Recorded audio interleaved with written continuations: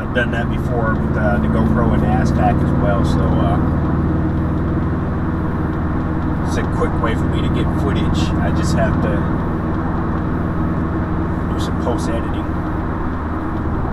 If I don't want to do post editing, what I do is I, you know, before I use the camera, I set it up. If I need to place the camera in a place where it needs to be upside down, then I set it up in the camera configuration.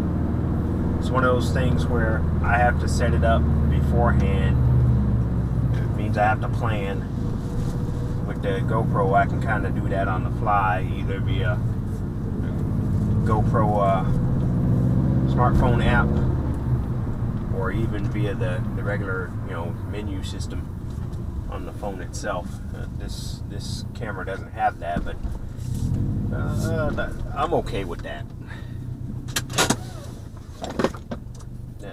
Remember, this is video is solely to test it, how the phone uh, captures footage.